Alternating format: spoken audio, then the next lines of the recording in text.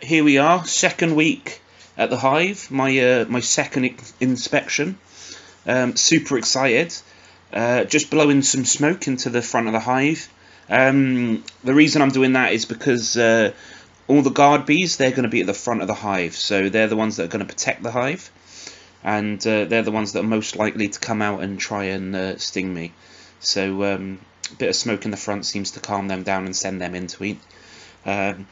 The feeder's still on, uh, but it's not meant to be. I didn't fill it up. There's been no food going in. I just left it on because I couldn't get any bees out. Um, so that's why that's there. Um, I've sped this all up because these videos are like super long. They're like 17 minutes, which is far too much for the average person to give up in their day to watch me just bumbling about with some bees. So um, it's it's just sped up a bit, but I'll talk you through everything that's going on. So basically, taking some frames out, da, da, da, da, make a bit of room. There was no drawn comb. This one, they're drawing out the comb a little bit.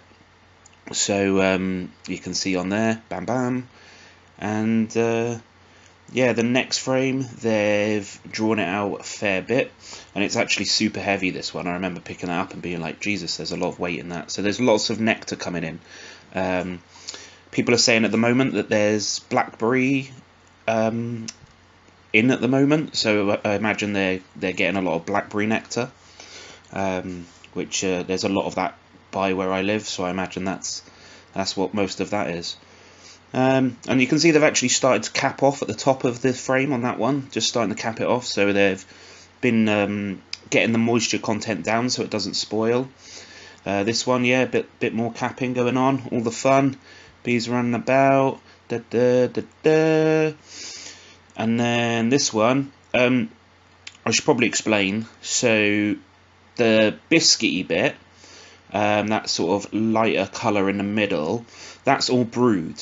Um, so that is where the queen's laid eggs. In they've come into larvae, they've got big enough, and they've been capped over to develop into bees. Um, and that's all working um, worker bees. They're not drones or queen cells. They're all worker bees. So um, the reason that that's happened is because um, when I first set them up in the nuc, when they, when they arrived in a nuc, I put them in the the hive, and I gave them a load of food, um, which is sugar syrup. So I gave them that, and they stored it all in the in the in the nuc box where they were, so in the frames that they had already drawn. So the queen didn't have much room to lay. Um, so I put the super on top, and I actually left the queen excluder off so that they could um, e either shift the sugar syrup up or the queen would go up and lay. So I'm super happy that the queen's definitely gone up and laid there.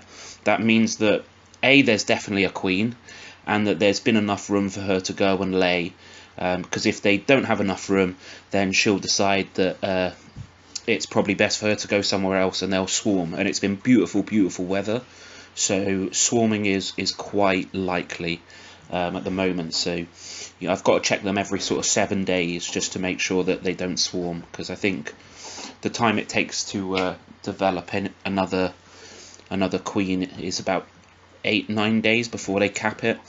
Um, and once they do that, it's uh, it, the queen will just leave and let her develop in the hive. Right, so just getting out of frame of, uh, of brood here, I just wanted to show the camera a bit closer. So I'm going to step around. Da, da, da, da. Here you are. So beautiful frame of brood and a little bit of capped stores. That's capped nectar up in the top two corners. And this side, boom, full of it. Lots and lots of worker bees ready to come and help the uh, help the colony get some more nectar in and build up ready so they can uh, go into winter nice and strong. So super, super happy with that. Um, yeah, so that's um, that's that bit done. Da -da -da I don't know why I'm looking at that one. Just just being nosy, I guess. Just trying to work out what's going on. Um, and then what I've done is I've checkerboarded these last two frames in the super again, just to help them uh, the bees draw them out. Just to say these ones need drawing too. They're in the middle of your in your brood nest or in the middle of the the hive um, where I imagine it's probably a little bit warmer as well, so it's probably easier for the bees to make the wax. Um, so yeah, boom. There's the, uh, oh, close up. he's done that before. He hasn't actually. This is the first time I've moved the camera. So there we are, new things, getting better at filming. I don't know, it's probably a bit of an awkward angle, but here we are. The So this is just the brood nest. Um, for some reason, I thought, oh, I'll start this side uh, today, and then I changed my mind because um, I've always gone from well from right to left as the camera's looking at it. So I figured I'd crack on and do it the same way I've always done it. So what we got on this frame? Forgot. I haven't looked at this for a while. Um, oh, look at that! Lots of capped, capped um, stores at the top, um, and lots of bees in there. A fair bit of nectar coming in, and a little bit of pollen in the middle. That's that darker, darker cell. And then drawn out on that side, but not much going on. I tend not to do much with the edge of the uh, the edge of the hive, the frames at the edge. They just seem to be like mainly storage. Um, but we'll see. Um, this was one of the frames that I um, I checkerboarded, so you can see they've actually started to draw it out a little bit, but not much. So fingers crossed they'll draw out that a little bit more um, by next week. We'll have to check that when we when we get round to it. Um, yeah, this is as you can see, the end of the frames of here are a little bit darker. Those are the original frames that the uh, that the nuc came. I'll just have a look. Da -da -da so yeah, you can see a lot of the workers have started hatching out of that because that was quite a solid pattern. And again, lots of stores, in, and that's just that white capped off um, nectar at the top. Um, so they've hatched out on that side. So the the bees are getting uh, a bit bit more out and about, coming out and helping. Um, uh, so when a bee first hatches, if I get this right, um, they are nurse bees. So nurse bees, um, this was one of the I checkerboarded as well, so they've drawn out that a little bit more. That's good.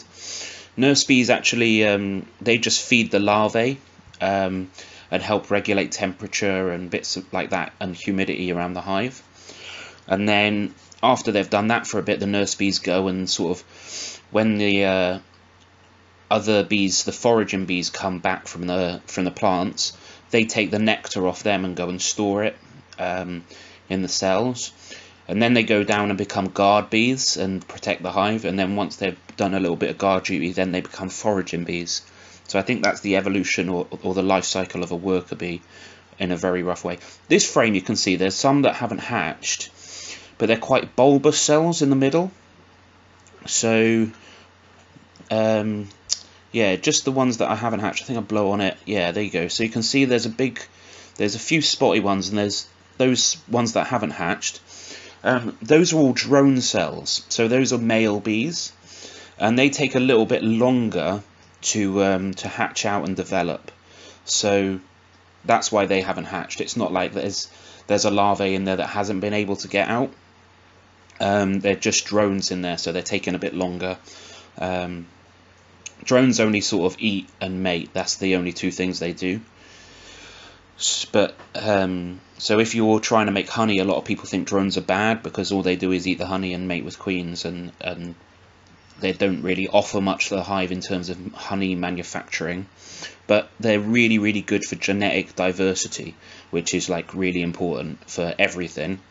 So um, I'm kind of happy to let the drones crack on and live there. Look, they've chewed through the bottom of the wax there, just I think to make it easier to go from from frame to frame. So it's quite interesting. They've uh, just made a little bit of a hole at the bottom with plenty of worker brood.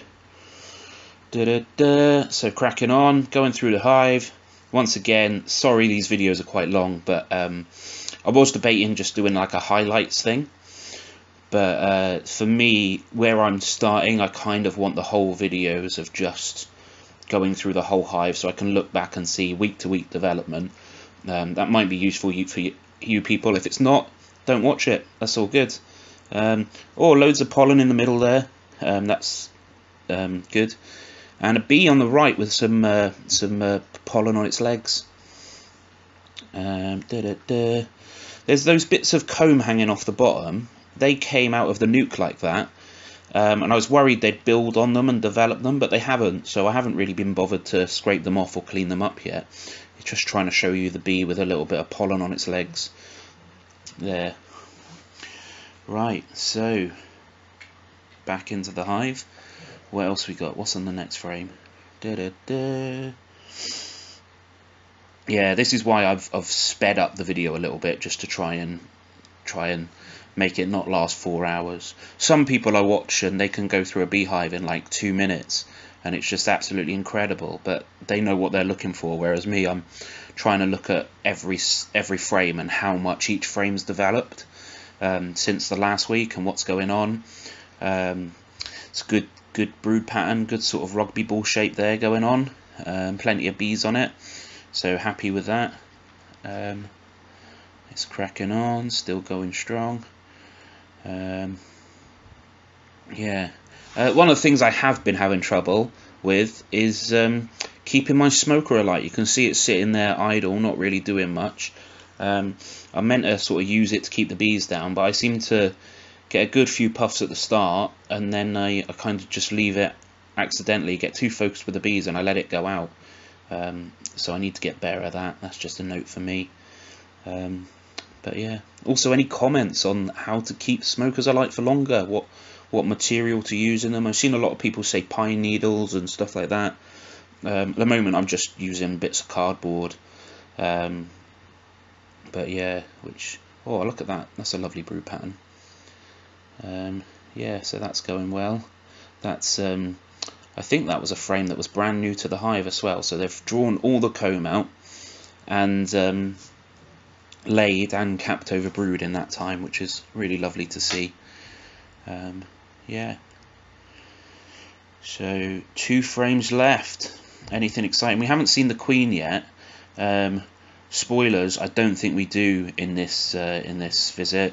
Um, I was actually super worried about whether I had accidentally squished her in the first my first um, inspection, but because we've got the brood there that's that's been capped up in the super, I know that she's about and I know that she's laying because that didn't have any any larvae in in the first week inspection. I don't think so. Um, I know she's about, but you know it's nice to see her. I know it's a, a silly little thing, but it's just it's like you know it just makes your mind go like oh everything's all right, it's all good. We got the queen, she's happy. Um, but yeah, um, and those last two frames they're drawing out um, and putting a few bits of stores in there, but nothing, nothing too much, nothing exciting going on. Um, and then I think I'm just shifting everything back and trying to uh, trying to pack up the beehive basically. Ba-dum-bum. Yeah, it's really a struggle moving all the frames together. I seem to it's one of the things that everybody says to do, but I really struggle with it. I'm just terrified I'm going to crush a load of bees. Um, it makes sense, but it, it doesn't make sense in my head when I go to do it. Um, so yeah, some uh, some bees back in the box now. I could probably cut most of this stuff to be honest. Just so you know, I'm I'm uh, recording this and watching a video on my laptop of the uh, the film that I've made. Um, but my laptop is so awful, it's just buffering, so I'm just narrating to glitchy screen at the moment and hoping that this is kind of laps over in some kind of way where I'm talking about the right thing that's going on. Um, but yeah, if it doesn't, well, you know, one take wonder. Let's just uh, just let it let it be beautiful and, and wild and, and if the voiceover doesn't work it doesn't work. But you know basically I'm just packing up the hive now I think. Um, and this is the time where I really want to use my smoker to get all those bees back down into the hive but it's just not not smoking as much as it should be. Um, so yeah gently does it um, put it on a, an angle so there's less contact with the bees, and then straighten it up. That's the uh, that's supposedly the best method. The way where you crush least least bees. Um, you're going to crush bees no matter what in beekeeping, which is sad, but um, it's it's one of those things. Um, uh, so hopefully, the least bees squash, the better. Um, hopefully the better the more I do it, the better I'll get, and and hopefully I won't be uh, crushing too many bees. But um, yeah, so that's uh, that's it. I'm just just packing up the hive, just putting everything back. Oh, I think I get a frame out just to show you the brood again. Yeah, that's what I'm doing now. Um, just trying to find a good one to show you guys. Forgot I did that. Da -da -da. Um, it's glitching as hell, so I don't know whether it's on the on the screen at the moment. But here, I'm just going to start talking. So in the top right hand corner, there's loads of honey, a little bit of pollen. Um, you can see right at the top of the brood, there's some larvae as well, some little curled up C shapes. That's the little larvae. And then there's loads of capped brood. And the bees are just working on it basically, making sure they're all right, they're all nice and warm, or they're not too warm. The pollen actually there, it kind of looks moldy and a bit gross, but what it is is they mix they mix pollen with nectar, um, um, and they eat that, and that's where they get their protein from. Um, so nectar is just like sugar and carbohydrates, but the pollen is a is like a protein meal. Um, so that pollen's called bee bread when they mix it with the nectar. Um, some nice white comb, some nice fresh comb on the other side, and just plenty of uh, plenty of larvae, plenty of worker bees ready to hatch and help out. Um, yeah.